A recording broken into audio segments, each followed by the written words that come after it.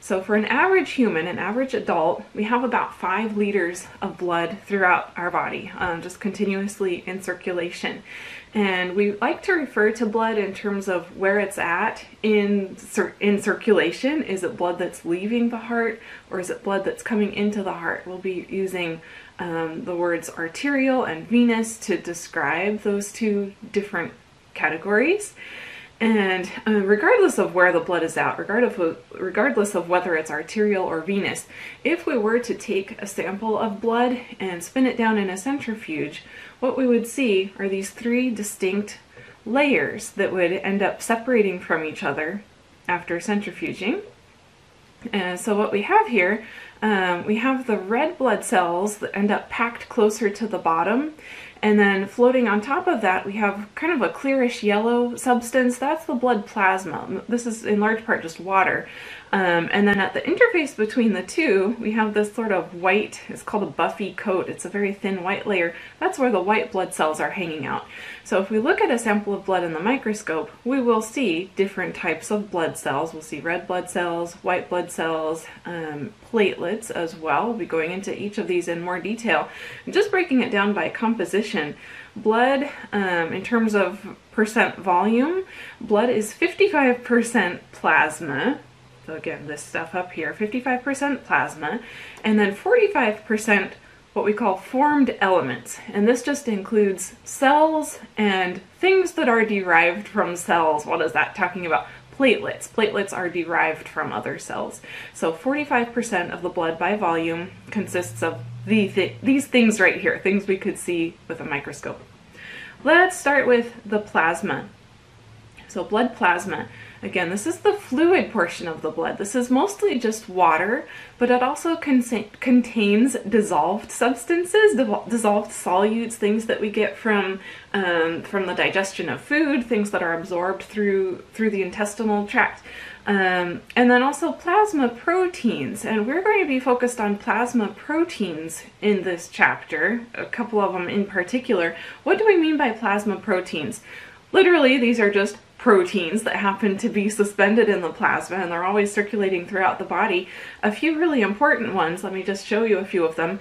What is albumin? Albumin is a protein that helps um, maintain osmotic pressure, so it helps to draw water um, into the blood from the tissues.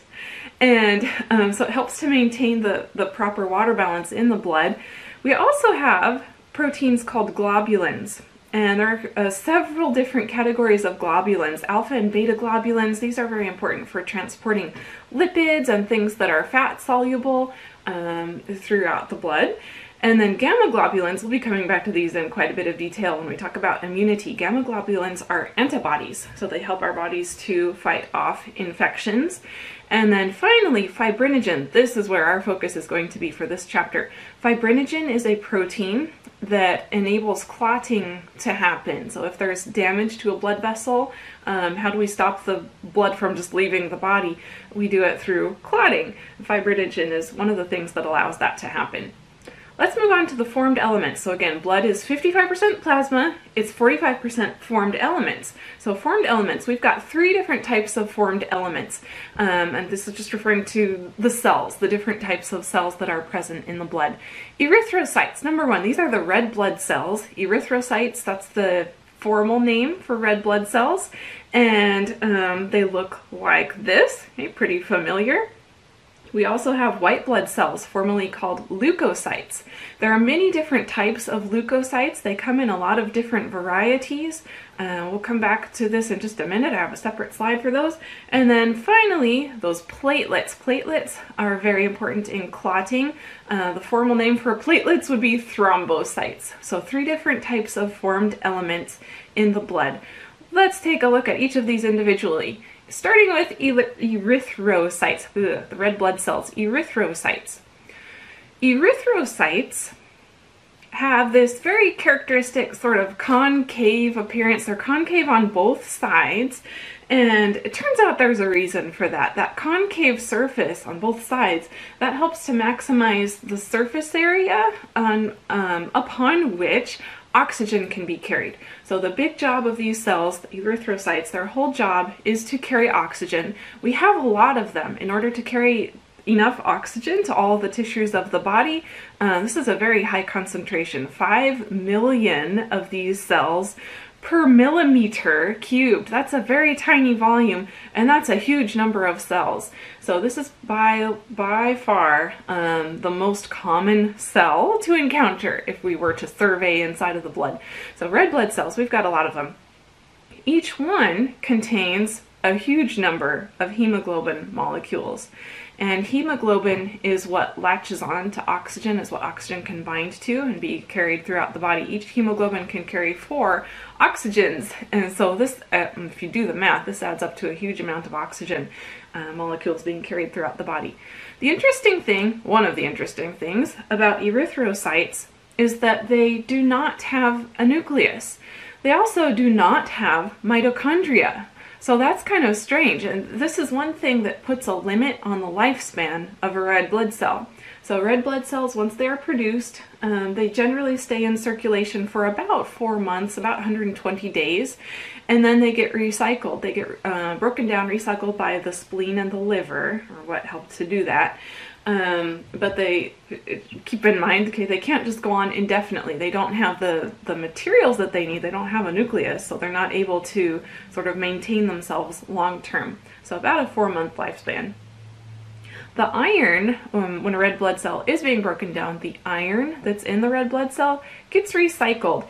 It gets recycled by the liver and the spleen. It's carried through the blood. There's a molecule that grabs onto it, transferrin, grabs onto the iron, carries it um, via the bloodstream, carries it to the red bone marrow. Red bone marrow is where these cells are originally produced. So that iron gets recycled, carried back to the red bone marrow, and then it'll get built back into a new red blood cell that's being formed there. Anemia, this is a condition that results from abnormally low um, amounts of red blood cells or it can just be due to not having enough hemoglobin in those red blood cells. In any case, anemia, if a person has anemia, this means that their tissues are not getting the optimal amount of oxygen. They're not getting quite enough oxygen. There can be several different causes of anemia. One of them, probably the simplest, is just if a person doesn't have enough iron in their diet. Iron is one of the ingredients for making these hemoglobin molecules. Um, so if we don't have enough iron in the, our diet, then we may end up with um, anemia as a result. Okay, second type of cell, uh, let's take a look at the leukocytes, so the white blood cells. All right, we don't have as many of these. We don't need as many of these in circulation. Let's just compare. So red blood cells, we said there are 5 million per millimeter of blood, per millimeter cubed. Uh, so 5 million compared to about 5,000 for the white blood cells, so not nearly as many. And this is why, let me just scroll back real quick to the hematocrit. So when we centrifuge blood, uh, what we see is we've got a big thick layer of red blood cells. We have just a tiny little layer of white blood cells. Okay, so there are not very many. Um, uh, we've got just enough to do what they need to do. So um, the white blood cells okay, about 5,000 on the lower end per millimeter cubed. These are cells that do have nuclei and they do have mitochondria as well. Looking at the nucleus of a leukocyte can be very informative. It can help us to figure out which type of leukocyte we're dealing with.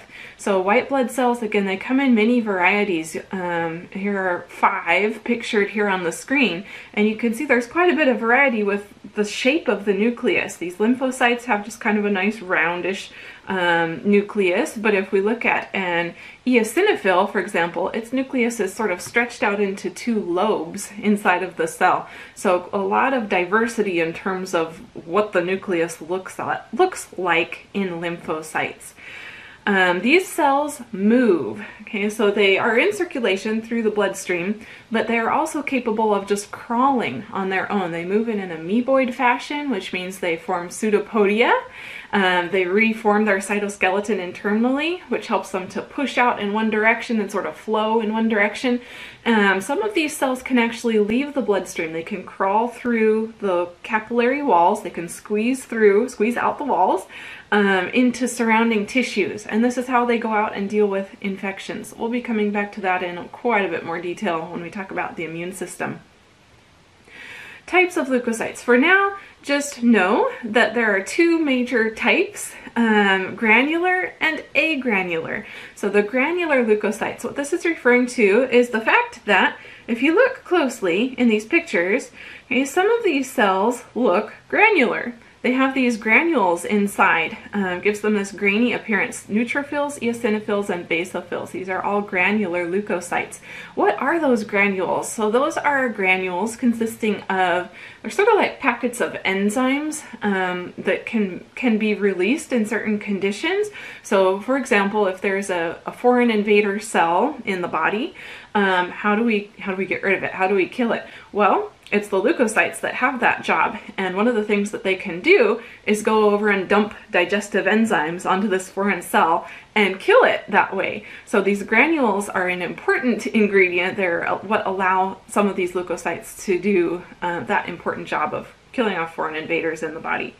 The agranular leukocytes, just two of them, the lymphocytes and the monocytes. All right, our third type of formed element in the blood Okay, so recap again, we're talking about what's in blood. We've got plasma, we've got formed elements. In the formed elements, we've got red blood cells, white blood cells, and platelets. Here we are with platelets. All right, so the thrombocytes, these are the smallest type of formed element in the blood. They're very small. And part of the reason for that is they're actually just fragments of other cells. Um, so in the in the red bone marrow is where cells of the blood are initially produced, and one of those cells in the bone marrow is called megakaryocyte.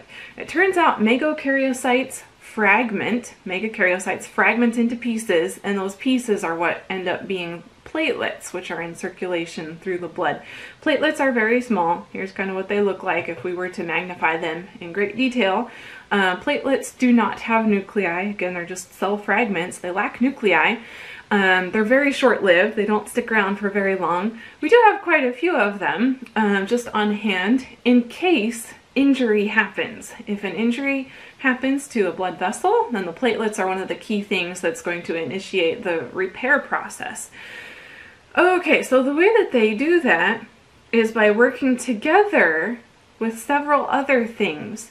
We mentioned fibrinogen earlier. Fibrinogen was one of the proteins that's just present in blood. It's present in circulation um, ordinarily. Okay, so platelets have a role along with fibrinogen to allow clotting to happen. Platelets can release serotonin. We've met serotonin before. This was um, something we saw when we were talking about the, the nervous system. Okay, so it was a neurotransmitter. Um, but it's also important in um, the circulatory system. Serotonin is something that causes vasoconstriction. And that makes sense, right? If you think about what platelets are doing. So if there's injury to a blood vessel, uh, platelets are going to help help have clotting take place, but they're also going to restrict blood flow to the region just by secreting this chemical serotonin. Um, so the blood vessels will constrict and that will prevent too much blood loss from happening while the clot is being formed.